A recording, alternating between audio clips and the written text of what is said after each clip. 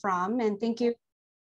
Thank you again for joining us. My name is Kaede Kawauchi. I'm the Director of Strategic Initiatives at the Intentional Endowments Network. I'm joining you from the Seattle area where I grew up, uh, which is occupied land of the Duwamish, Squamish, Muckleshoot, and Snoqualmie tribes. And one of the reasons why we start these sessions with land acknowledgements is to remind us that repairing our relationships with place and people and this planet is um, through investments and capital allocation is at the center of our collective work. And in advancing our collective knowledge and work on equity and justice, uh, today's webinar is actually part of our racial equity investing series. We've hosted a few conversations on this topic in the past year, as you can see. IEN members can go back to access the recordings of these sessions if you missed them. And there are more um, upcoming, like the one today, to support the learning journey of this community. So stay tuned for more announcements on that. Um, and these workshops or webinar series are intended to be a supplementary resource for the Investing in Racial Equity primer that uh, the Network's DI Working Group developed last year. So in the primer, we outline the 12 action steps that investors can take to make progress on racial equity. And if you haven't seen this resource yet, you can do that by visiting the link listed on the slide. Um, and if you have thoughts or um, on speakers to engage or topics to dive into for these series, uh, you can contact me through the email there. So with that in mind, we invite you to support yourself and be present in this session by you know, grabbing a beverage, maybe having something to write on and removing distractions and taking a deep breath and be ready to engage.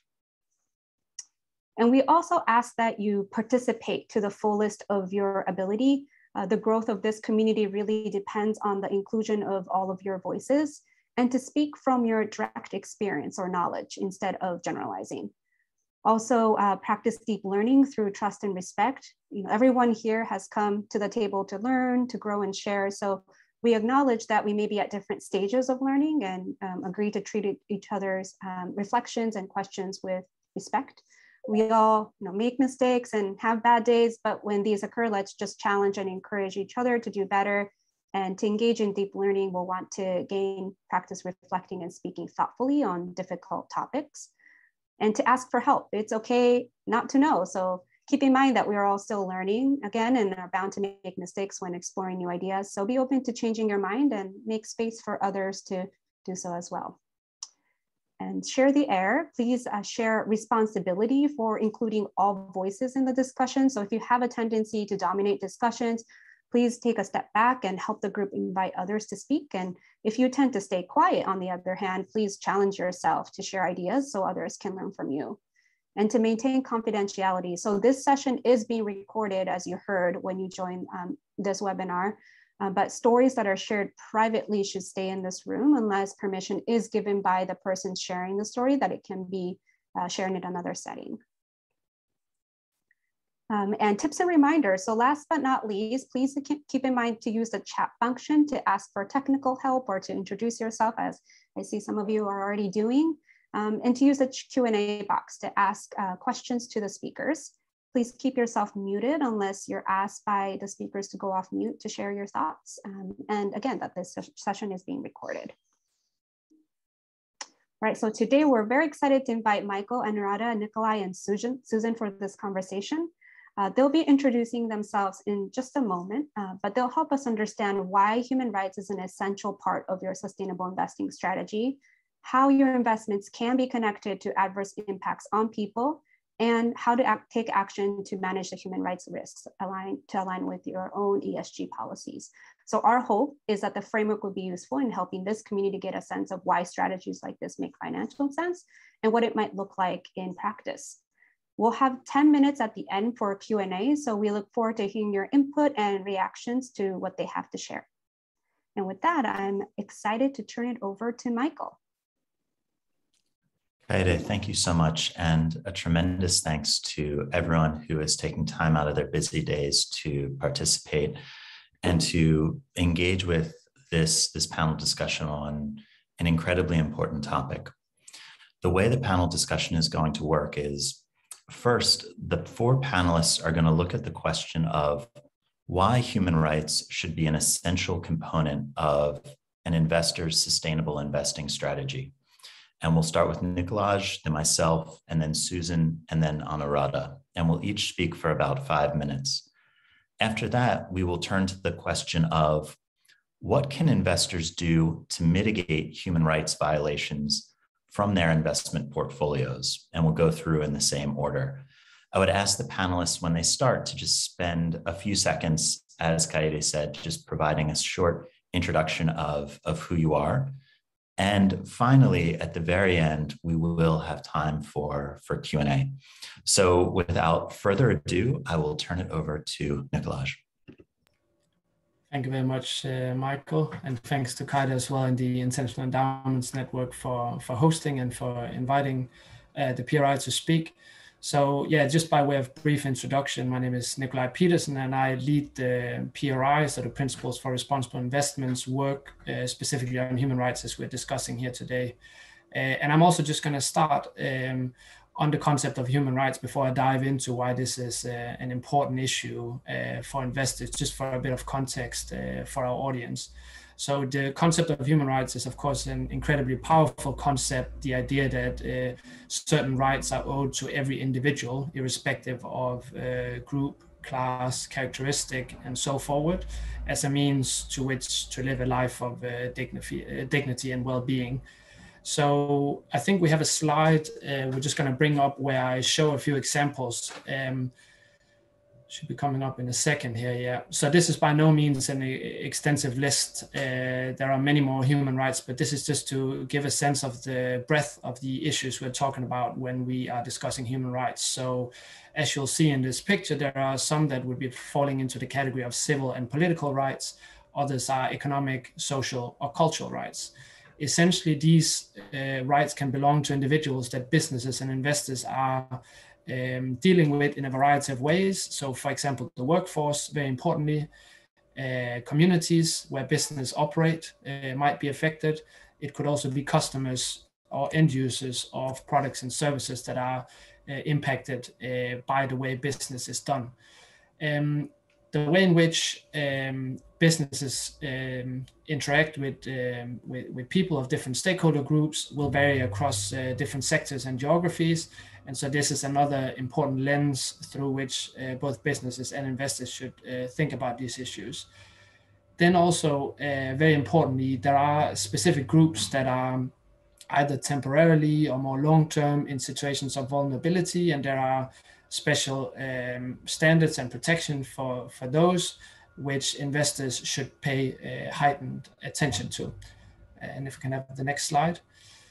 So these international uh, human rights are codified in certain recognized standards. So uh, there is, for example, the International uh, Bill of Human Rights. Um, there is the ILO, the International Labour Organization's core conventions, which uh, form the sort of substance of the human rights framework that um, investors and businesses um, should be concerned with. Now, you might be listening to me now saying, well, wait a minute, human rights isn't that primarily a job for states? And that would be exactly right that states are certainly the primary uh, entity uh, which is responsible for protecting human rights. But as you can see here in this picture in 2011 the un unanimously endorsed a set of uh, principles called the un guiding principles for business and human rights which clarified that there is there are responsibilities that falls on businesses and investors as well and this followed decades of examples uh, in which, uh, through international trade and increased freedoms of uh, multinational enterprises, uh, we started to see more uh, emerging issues on human rights that were basically the direct consequence of the way in which these businesses uh, were conducting themselves. So we are dealt with, we're dealing with a with a regime here where, of course, states are ultimately uh, responsible for protecting human rights, but companies and investors will find themselves in situations having to deal with issues uh, that falls within their own responsibility. So let me move on to why uh, human rights are important for investors. Now, there is an increased attention to this uh, generally in society, and the investment community will feel this uh, directly from clients, it could be from beneficiaries, for example, pension savers, or in the context of uh, university endowments, uh, student movements that have certain preferences uh, and agendas on human rights that they have to uh, deal with. Human rights are also a set of issues that can cause uh, reputational damage to investment institutions uh, if they're not managed properly. So that's an important aspect to consider as well. Now, we also live in a time where there's an incredible amount of uh, disruption uh, and unpredictability, the climate emergency, and the just, transition. And just to mention a few sectors, this uh, affects extractives, renewable energy, automotives, and real estate.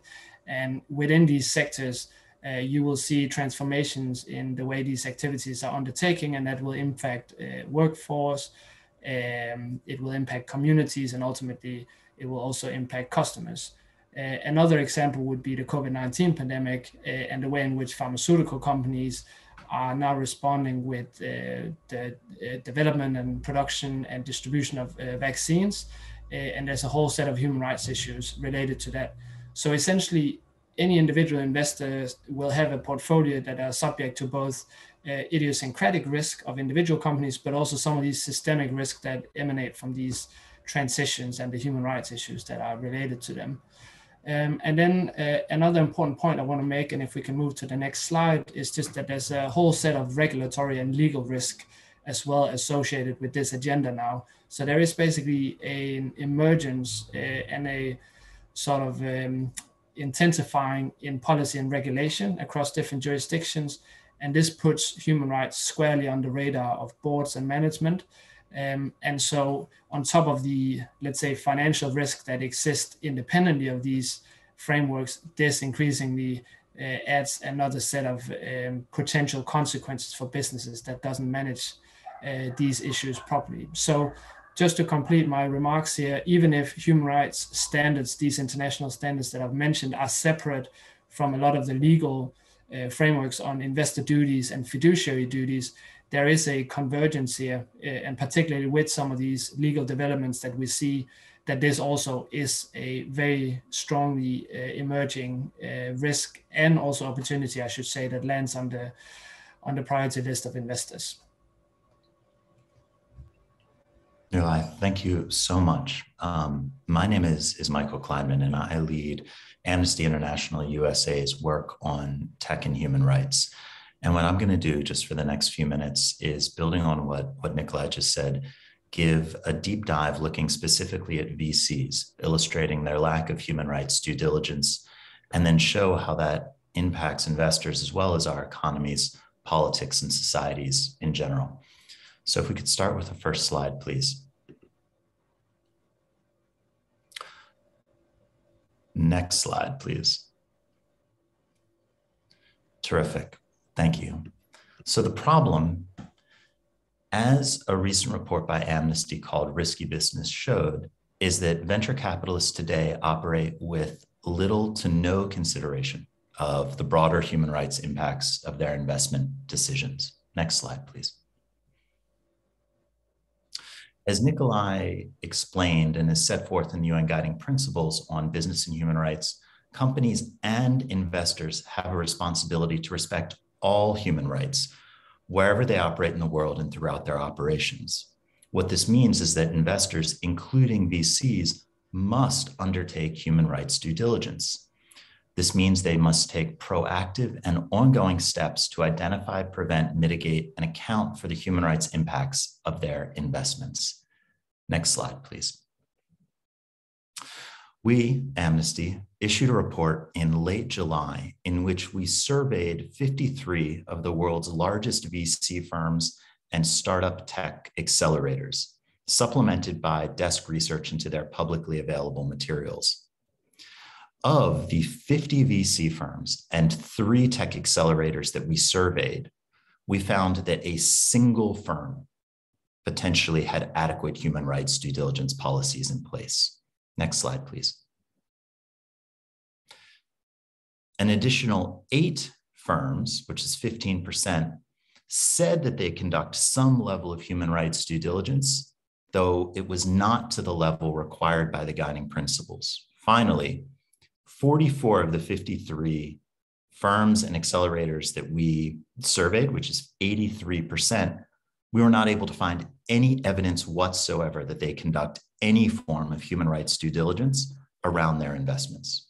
In other words, when it comes to human rights and the impact of their investments, they are flying blind. Next slide, please. Just to be super clear, this failure to carry out adequate due diligence is a failure of the corporate responsibility to respect human rights. This is not something that can simply be waved away. Next slide, please. Now, there are three concrete consequences of this failure by VC firms to respect human rights. First, VC firms invest in companies whose products and services have been directly implicated in ongoing human rights abuses. For instance, some of the largest venture capital firms in the world and in the US have invested in Chinese facial recognition and surveillance companies that support the Chinese government's repression of the Uyghur population in Xinjiang. Second, this almost complete lack of human rights due diligence means that VCs invest in companies whose business models have a proven and significant negative impact on human rights. Some of you might have heard about the business model of surveillance capitalism, which is what powers Facebook and Google. Basically, the idea that they are incentivized to collect ever more personal information in order to target ads, which has a significant and deleterious, a word I love, impact on the right to privacy, or really fundamental issues around gig economy business models and labor rights. Next slide, please. Now, the third concrete consequence of this lack of VC human rights due diligence is looking forward as VCs support and invest in new, uh, new technologies and new applications of those technologies. And what we're particularly concerned about is the growth of artificial intelligence machine learning tools and their deployment across a wide variety of sectors health tech, fintech, ed tech, gov tech. And they are concerned when it comes to the willy nilly use of these tools without any human rights due diligence is the potential for these tools to amplify existing societal bias and discrimination, which is called basically the issue of algorithmic bias. So if we start with flawed or biased data and we don't take the time to try and understand how that's biased, then the output from these seemingly objective tools is itself incredibly biased. And we've seen how this impacts already marginalized communities who are often the victims of this kind of algorithmic discrimination. Next slide, please. Now, I'm almost finished, but I want to highlight one last issue, which ties into this lack of due diligence, which is the really stunning lack of diversity amongst venture capital firms. So, women comprise 23% of VC investment staff and 16% of venture capital investment partners. 4% of VC investment staff are Black, and only 3% of VC investment partners are Black. 4% of VC investment staff are Latinx, and people of Latinx um, descent are only 4% of VC investment partners. Now, this lack of diversity has one really significant impact, which, next slide, please, which means that most of the funding that these people provide goes primarily to people who look like me. All female founding teams received just 2.2% of all US based VC funding. Founding teams that have both a male and female founder received only 15% of VC funding. And Black and Latinx founders received a less than 2.3% of all US based VC funding in 2019. If you look at this from an intersectional perspective, the number is even worse. And this means not only do we have investment teams who represent a really homogenous community and who are not well positioned to think through and understand the impact of the investments they make on marginalized communities, but they're giving money to people who in turn are building tools and services for those same relatively homogenous, relatively well-off communities. So we see this cycle of discrimination repeat itself again and again. So thank you very much. And with that, what I will do is turn it over to Susan. Susan? Hi, uh, my name is Susan Winterberg. I'm an ESG consultant, uh, and I specialize in uh, private markets, in particular venture capital. Uh, previously, I was the inaugural fellow at the Harvard Kennedy School's uh, Technology and Public Purpose Project, um, where I wrote a paper called Responsible Investing for Tech and Venture Capital, where I outlined sort of what some of those challenges are and what the path forward is uh, for venture capital funds to be able to adopt ESG and human rights. Um, just building on some of Michael's comments, uh, what's happening currently in the VC industry and what are some of the challenges they face. So across the whole industry, it's about 2,700 funds worldwide currently. Only about 10% even mention ESG in any meaningful way, as we started thinking about it, but maybe we don't even have a process yet. So that means over 90% of global assets or global funds aren't even thinking about this. It's not even part of their investment thesis. Uh, so when I started doing this research, I spent a lot of time going through these funds public materials just to see, well, what, what do they believe in if it's not sustainability, ESG, human rights? Um, and one word kept coming up over and over and over again. Almost every single fund had this word, disruption. So their goal is to disrupt. Um, and a lot of like how they think about their role or their ethics as investors has to do with this idea of disruption. So they're there to create a, a new world order. They're there to disrupt big industry. So whether that's uh, you know, big taxi in the case of Uber, big hotel, Airbnb, big higher ed, um, you know, big, big healthcare, big finance. So a lot of what they're trying to do is go in there and create a whole new business model. So a lot of how VC funds sort of uh, look, look for companies they want to invest in is do they have an innovative business model that can completely remake and disrupt and displace an entire industry?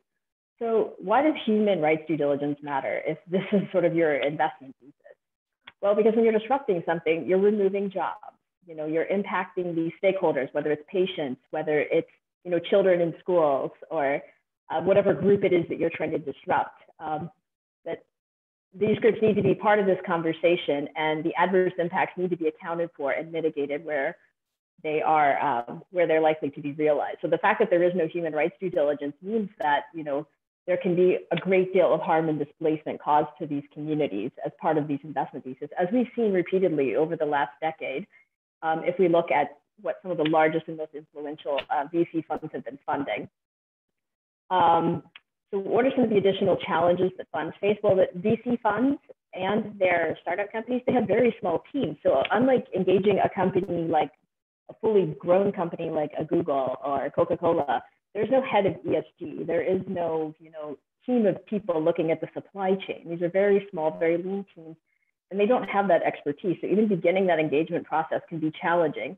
When I first started this work two years ago, most funds I spoke to had never even heard the term ESG, like speaking to the largest venture capital fund. So there was a huge learning curve in terms of bringing them on board with where other asset classes are currently. Um, the second challenge that we're really facing in, in building um, sort of ESG or human rights awareness is we're going up against sort of an ethos or an ideology inside this industry that's really not compatible with human rights um, or ESG broadly. So a lot of sort of what the belief system is in this industry, in, in the VC industry, is that you have to move as quick as possible. So the classic example of this would be Facebook's motto, former motto, which was move fast and break things. So the, the idea is basically get a product to market as quickly as possible and then put it into as many hands as possible. So this means, you know, put it out in the marketplace before you fully have thought through all of your policies and safeguards, before you've consulted with stakeholders. Just get it out there, you know, let it blow up or whatever it's going to do, and then you can backtrack and like fix things as you go along. So they're putting products into the marketplace very quickly. Classic example, if you're watching the news this week, Theranos didn't have a working prototype, didn't matter, launched it anyway, you know, onto patients, onto doctors, and then you know, quietly behind the scenes tried to develop the technology, even though it didn't work, sort of the fake it till you make it ethos. Um, and then rapid scaling, so trying to get into every single market as quickly as possible. So if you look at some of these different, you know, sort of the unicorns, the $1 billion plus ventures, uh, try to get into every global market as fast as they could. Airbnb, for example. So you know, operating a company like that in the United States looks very different than when you start operating in the Middle East, where the cultural norms around, you know, where who is it appropriate to have staying in your home are totally different, um, as well as you know different treatments of different racial groups that may not be the same, you know, country to country. So you do have to have some of these policies in place and risk mitigations in place to avoid human rights violations as you scale into internationally, particularly into these high risk contexts. So why does human rights matter for investors? Um, so uh, on, on, on, the first level, I guess we talk about investment returns. So, you know, 70% of ventures fail within the first two years, and only 1% go on to exit over $1 billion. So part of that problem is they haven't consulted with stakeholders. They don't have a viable business model. They haven't thought through the regulatory processes. I think human rights due diligence could really help them think through what are some of those risks to people and do we have a long-term sustainable business model? Uh, and then the second, which Nikolai sort of talked about, is that there was a reputational risk for a lot of these companies, particularly for um, for institutional investors like yourself who are investing in this area, is that when you're going in and disrupting things, whatever that is, there's a high risk of human rights violations, which could ultimately fall back. Uh, and particularly if you're a charitable foundation, you need to think about um, when you're engaging with venture capital, making sure that they're not investing in business models that are sort of antithetical to what you know your foundation is trying to achieve. So if that's public health, you may need to explicitly call out, you know, in your side letters to your your VC fund managers, you know, not to invest in things that harm, you know, public health or will harm like racial equity.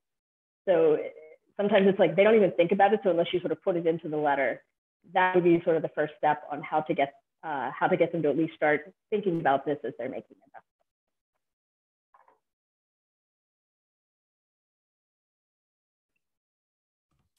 Terrific. And Susan, that was great. And just to pass it on to, to Anuradha.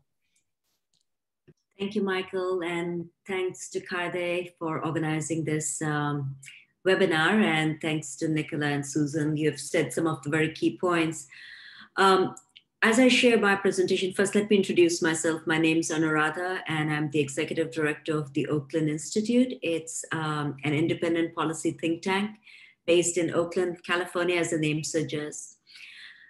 Uh, since 2007, when we had the high food price crisis and the financial crisis at the same time, we saw a lot of unusual actors step into the field of investment in agriculture. This included private equity, university endowments, pension funds, uh, moving into investments in farmland, timber plantations, a lot of euphemisms around food security, infrastructure development, impact investment. In 2011, for instance, we found that nearly 56 million hectares of land were either bought or leased by foreign investors. Now that's the size of France. And nearly 75% of that was in Africa as an independent think tank, we wanted to really look into what these investments mean, if they really deliver on the promises of food security, job creation, infrastructure development. What we found was lack of transparency, diligence, and accountability. So I'm going to share a specific case, which is more recent, not from 2011, though there are many that we I can share if you go to our website uh, which have included investments made by Harvard University, Vanderbilt University, and exposes led to them having to pull out their investments after the students mobilized. But security forces at the PHC plantations uh, for palm oil in Democratic Republic of uh, Congo killed Blaise Makabe and Ifolafola Nsoni Manu in February of this year. Blaise was accused of stealing fruit that was not found on him or at home, and Ifolofola was accused of stealing plastic chairs. Violence against these community members has continued just this September, September 14th. DRC soldiers and PHC guards reportedly destroyed dozens of homes, committed systematic looting in several villages, including torture and kidnapping of civilians from communities who surround the plantations. The security forces specifically targeted local activists who have opposed the company's abuses. On September 15th, Frank Balimbasa, a human rights defender, was arrested. He was kept in jail for weeks without charge. He was finally released, or a provisional release, because his health uh, deteriorated in captivity. Another community member, Jean Bufanda Banga, was arrested and beaten, severely beaten while in captivity. Local NGOs, community members have called for an international investigation into these grave human rights abuses because the owners of PHC plantations have failed to take any action to address the abuses. So who are these owners? Now the dispossession of the communities is mired in colonial history. for over a century, the Lokutu, Yaligimba, and Boteka communities have been forcibly displaced from their ancestral lands. In 1911, the Belgian colonial authorities granted British industrialist Lord Leverhulme license to create vast oil palm plantations for his company PHC. And this was done without the consent of the local communities. The oil palm concessions eventually passed on, I'm sure you know who I'm talking about, Unilever, to Feronia in 2009. After Feronia filed for bankruptcy in 2020, the banks passed the assets they held in, in the plantations to Kuramo Capital Management, the investment management firm that owns the majority stake in the PHC plantations, and the major foundations, university endowments, and pension funds who are involved in the plantations through the investments in the KCM, Kuramo Capital Management. Now, KCM first invested in the plantations in 2017 at a time when the wrongdoings of the company and many issues faced by the communities were widely documented. Since it acquired the majority ownership, KCM has continued to ignore community demands to negotiate. Instead, it has been pressuring the community leaders to sign agreements with the company that undermine the mediation process, that undermine the demands of the communities. So let's take a second to look at who these investors are. I should also mention that it is almost impossible to find the investments. As you might very well know, they're not made public knowledge. So at the Institute, we have had to really dig into KCM to find who are the agencies that are supporting uh, their investment in the plantations. Perhaps it'll be surprising or not so surprising for some of you. Some of the key investors are University of Michigan Endowment, which is the largest known investor in the KCM. It lacks a guiding ethical investment policy, so investment decisions are driven by expected financial returns. The next is the Bill and Melinda Gates Foundation, the second largest known investor. You have the Government Employees uh, Pension Fund, South Africa's largest pension fund. You have Washington University in St. Louis, Kamehameha Schools in Hawaii, Northwestern University, General Electric Pension Trust, J. Paul Getty Foundation, and there might be many others. I don't know if any of you are interested in it. Point is, this is happening not in something that is in 2011, 2007, or 100 years ago. The colonial takeover of resources in the name of financial returns, with the euphemisms of doing good in the on the African continent, for instance, is something that's used and in all of our investigations, when we have reached out to the investors, it's pretty stunning that none of them have done diligence. They can tell us the financial returns that have been promised to them. There has made no diligence on the so called impact investment that they believe they're engaged in. But worse is when communities have reached out, when the wrongdoings have been made obvious that they have failed to take action. Uh, in this case, uh, none of the agencies that I mentioned that we have reached out to in terms of the wrongdoings and the continued abuses on the ground, none of them have responded so far. But the students have started organizing to mention why you should care. The students have started organizing at the universities.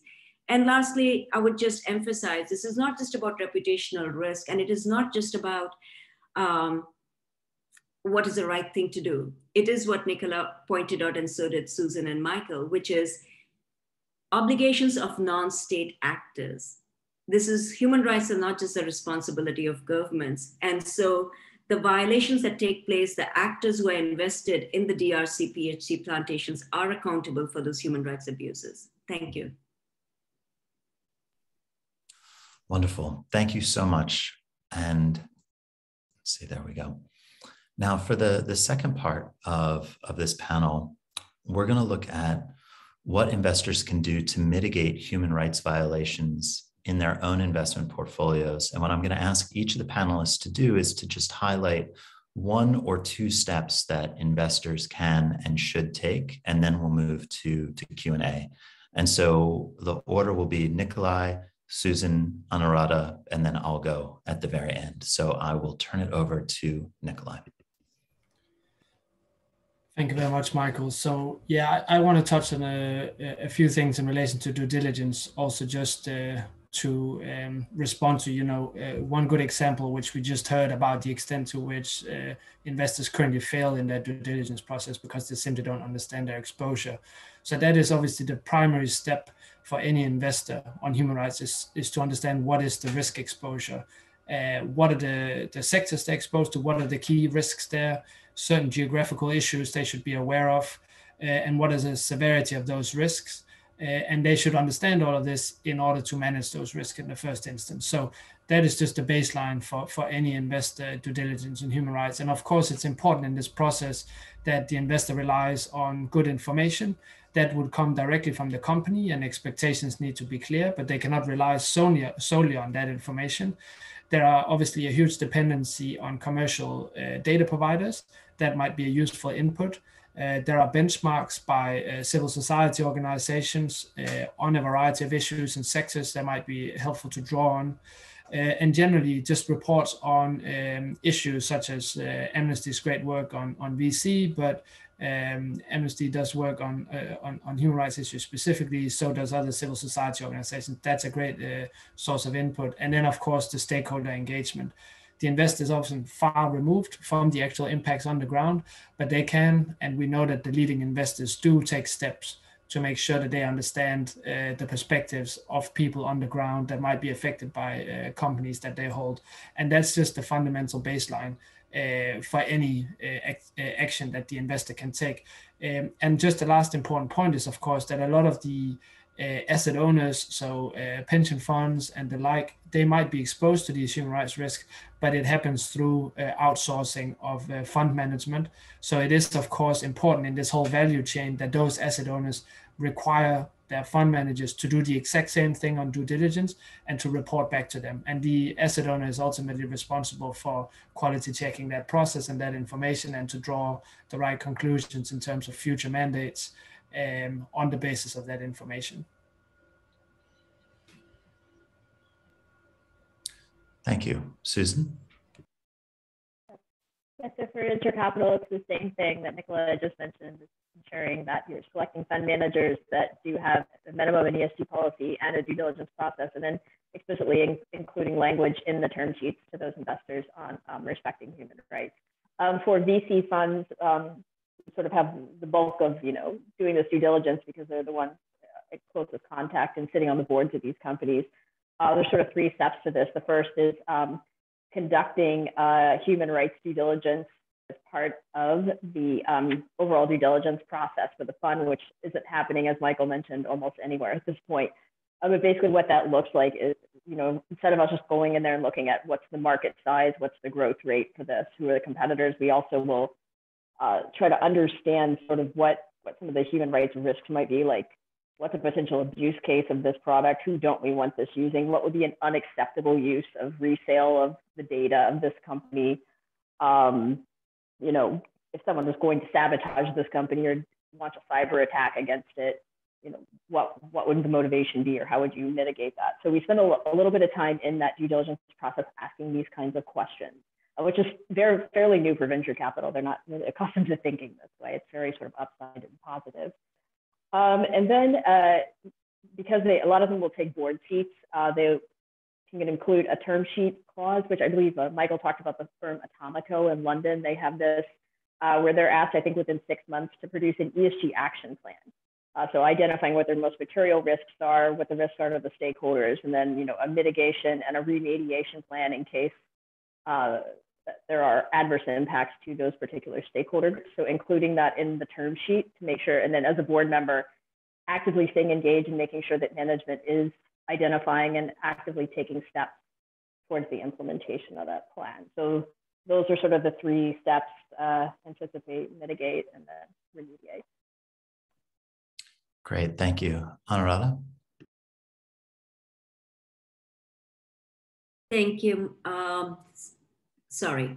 Um, yeah, there's several things. One is, um, you know, in the course of our work, we have just found a lack of um, just diligence not happening. You know, you have these investment conferences happening, investment in agriculture in Africa and elsewhere in, in New York, in Geneva. None of them tend to have a session, which is looking at how to be accountable. So that is one of the biggest issues uh, it is left to the goodwill of who might be interested. But one thing that I might want to point out is I started with the colonial times because I think the biggest thing that has to happen is to shift that power imbalance, that white colonial mindset, which still sees investment in places across the globe where you take over the lands of communities, whether for agricultural investment or you know timberland investment. I mean, I have to say every time I say investment, it kind of bothers me because it's really a theft and comes with the euphemism of investment. Um, I think it requires questioning. Uh, you know, a lot of the fund managers that we have talked to, you know, they don't even question to look at the land rights. You know, if you and I try to invest, say, in Boston, we know the number of pages of contracts around land leases and deeds we would look at.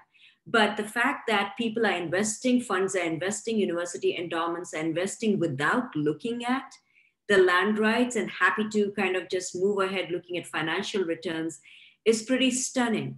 So that whole colonial mindset that the rest of the globe is available for our investment to enrich, looking at the returns is problematic. Um, the I mean, the other big issue I would say, especially for institutions such as university endowments or for pension funds, is they should be held accountable to let uh, the students, to let other parties know what they're really investing in because that creates certain kind of accountability where investigation or research can happen.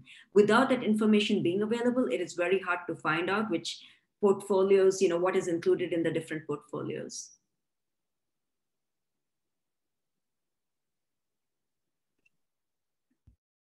Terrific.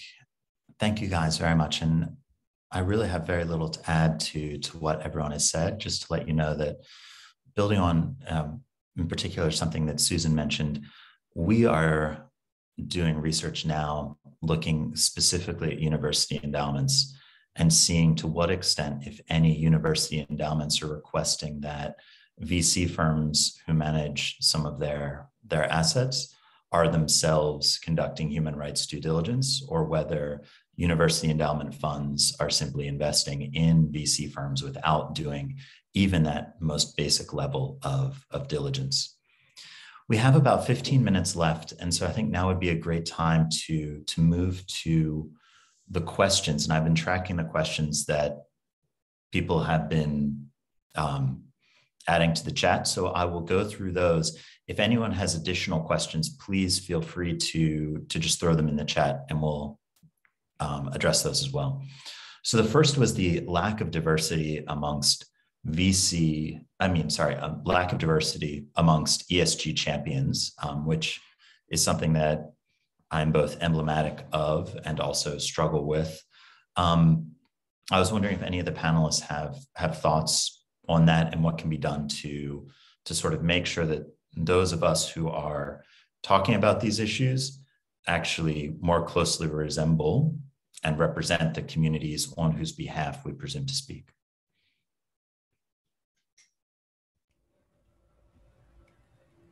Michael, I'm happy to say a word on it. Um, I think uh, across different fields, we see these inequities. Uh, the shift to understanding that the so if are doing investment for for ending poverty, we have to understand that the best experts on poverty are the poor. So uh, that was a colonial mindset that I was talking about at the Institute. We specifically work with the communities rather than even with professional NGOs to get to what the communities need and ask for. And so, for instance, the research that we pointed out in DRC, it is not being done sitting in Oakland. This is working with local researchers, working with the communities to elevate their voices. One of the questions was, uh, you know, in terms of do you work with the different funds to help them do the right thing? What we really encourage is for funds, for instance, to connect directly with the communities. If your intent is not just financial returns, but really boost development, you have to be connected to the communities whose well-being, whose development you're talking about. So I think it is that kind of shift that is needed, that is required. I think the private equity, as your research shows, is a huge problem as long as it is dominated by you know, uh, by right with the funding going to venture funds, which are controlled by, again, a certain race, that is going to be problematic. And how do we shift that? Yeah, if I if I can just add, Michael, this is something that's uh, very much of a concern to the PRI as well on two fronts, really. So you know we recognize the issue in the investment industry very broadly. It it definitely extends beyond private equity, and whether you're in in London or New York or or, or Melbourne, uh, these risks, uh, these problems are the same. So uh, we have a work program underway and a paper due uh, later uh, this year, I believe, uh, which is the sort of kickoff point for us to work more specifically on the issue of diversity, equity, and inclusion. So it's of course not only about diversity to the extent that uh, that different groups are represented in, uh, inside investment institutions, but also whether they are actually properly included and are facing similar opportunities and uh, as as counterparts. So that's the one side of it. The the other thing is that we've actually also internally uh, undertaken an exercise um, uh, to review our own practices um, because I think we have as much of an issue as most uh, financial institutions. Um, and that's something we have actually an employee group uh, that's been working with management on these issues. Uh, so it's just to say that yeah, we, we do look inside our own house as well. We're not just uh, uncritically uh, advising the investment industry without um, our own sort of assessment for ourselves as well. Terrific. Susan, anything you want to add, or should I jump to the next one? Um, another question is whether any of the panelists are directly engaged with the SEC in terms of the issuance of new ESG guidelines or the House Financial Services Committee looking at this. I know that we are not. Um, I'll pass it to the others. We have provided feedback and testified, but not directly involved. Yeah, Michael, um, uh, we've been working with our team in the US, our policy team in the US, uh, and responded to the public consultation, uh, I believe, a few months back. It was a, a strong focus on climate change, um, and perhaps rightfully so. It's, uh, of course, the most urgent issue of our time, but we did still give the input that we felt the SEC should also be looking uh, beyond those factors. Um, and of course, we've seen so much movement in Europe over the last couple couple of years with uh, close um, collaboration between the investment industry and policymakers and civil society. So at the PRI, we draw a lot on, on, on some of the learnings there. And so we we obviously rec- we, we recommend that the uh, disclosure framework does represent the broad scope of ESG issues and that human rights is a is a core part of that. So I do believe there's a there's a further work on human capital. Uh, I think that's the term the SEC uses, so that's something we'll be monitoring as well. And do any of the panelists, do any of you serve as advisors directly to funds? And if so, I'm curious your experiences, what kind of arguments you see as being most effective at reaching those within these institutions? What resonates? Susan, do you have any thoughts? Yeah, um, I do consult uh, to couple different venture capital funds. Um, mostly my, my role has been sort of helping uh, them develop an ESG due diligence process and then getting ESG issues in front of their investment committee. Um, so really just starting the journey. This is still a very new area. So unlike, you know, public markets where there's fully mature um, ESG functions inside the investors in the companies, this is still brand new. So um, one, of, one of the interesting observations, maybe relevant to this group, is that they have expressed a lot of frustration that in their fundraising processes, none of the LPs care about ESG. They've tried to go forward and present like, you know, we have a responsible approach. Here's how we do this, but you know, they don't even know what to do with that information. Um, partly because I think going back to your research, Michael, like a lot of them don't a lot of these large institutional investors don't even have an ESG policy. Um, and particularly among the ones who do, including a couple of pretty major ones that have significant ESG policies and practices in place for their public markets, they have pretty much told us that they don't consider this for venture capital, only fund returns matter. And part of the reason why is that in the venture capital industry, it is so disproportionate in terms of who has the largest fund returns uh, that it's really that top sort of quartile of funds that are driving all the returns in the industry. So they've sort of gotten a blank pass at this point to do whatever they want. And a lot of those funds just are not interested in ESG. We've done some engagement with them.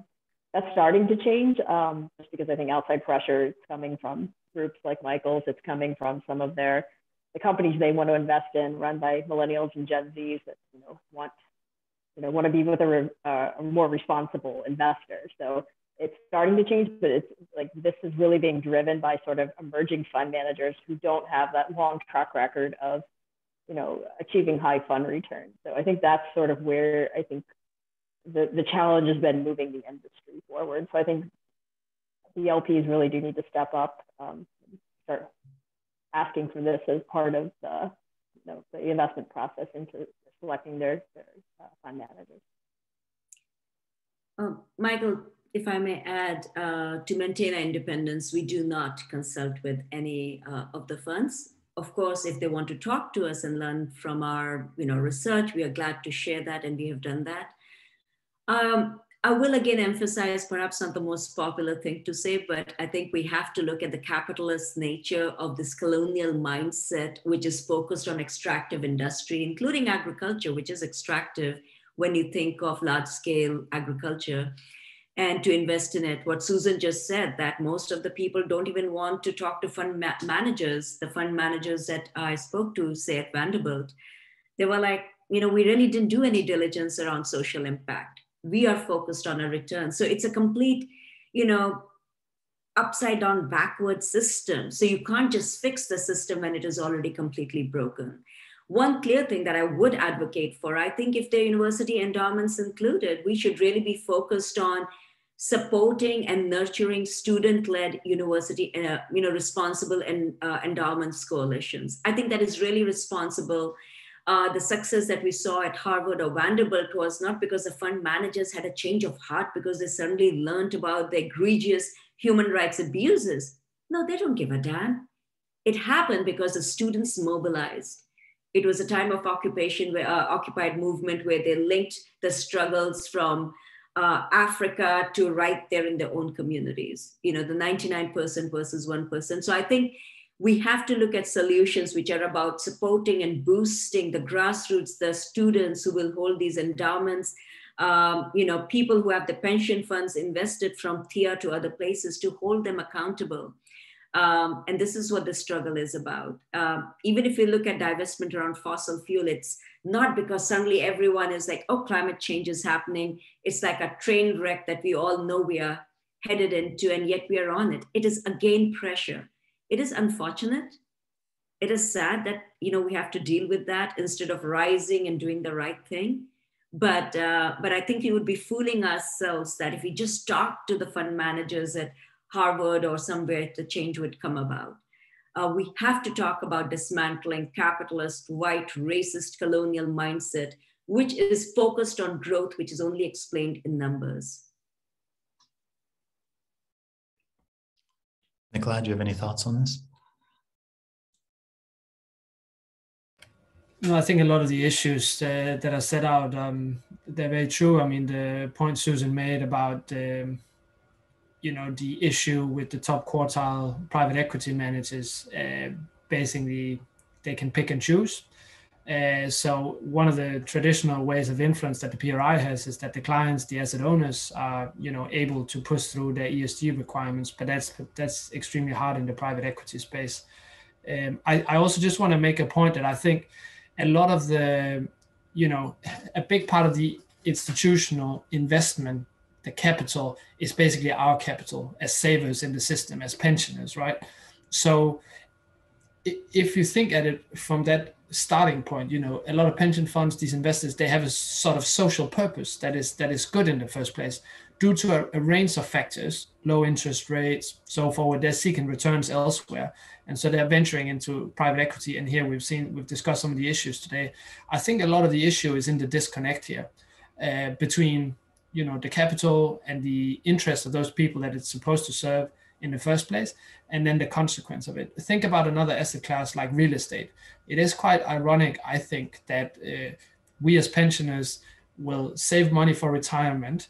Um, that is one of the important financial decisions we'll be making. Another one is to buy potentially property if we're lucky enough to have the capital for that but that is a sound financial decision often to make uh, when you can.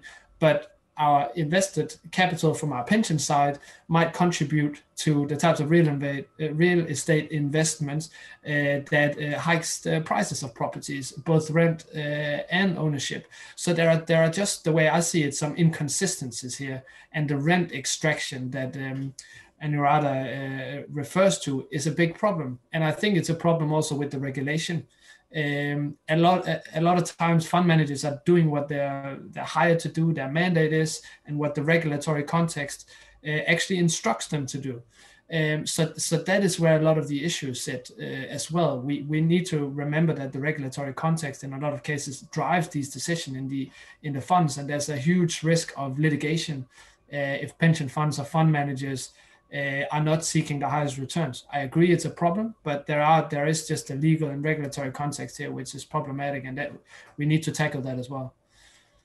Terrific. Well, guys, we are at time, and so I just want to say a tremendous thank you to to our panelists and to Kaede and the entire Intentional Endowments Network for for this opportunity and for this really stimulating conversation.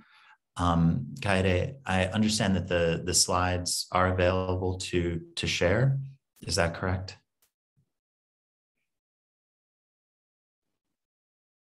Sorry, I was having trouble muting myself, but yes, that is correct. And we will follow up with the slides um, as well as the recording of this webinar um, afterwards. Terrific. Well, guys, you have an extra two minutes uh, again, a tremendous thank you to, to everyone and very much looking forward to continuing the conversation. Awesome. Thank you, Michael. And I also want to extend my thanks to uh, the panelists, Anuradha, Nikolai, Susan, and Michael for just sharing your perspective with us and being here with us today. Um, and also want to thank you all for your active participation in the chat as well. Um, and again, please reach out to us if you're interested in engaging with us further on this topic or have thoughts on the you know, approaches or perspectives that we weren't able to get to today that you would like us to follow up on um, in the later series. We also wanted to let everyone know that our final milestone of our climate action pursuit will be in December, where we'll have sessions like this, as well as sessions to celebrate the progress that members have made this year and look ahead to 2022 to share what's upcoming for the network. So we hope that you can join us for the climate action pursuit. And again, thank you so much for your participation and have a great rest of your day. Thank you.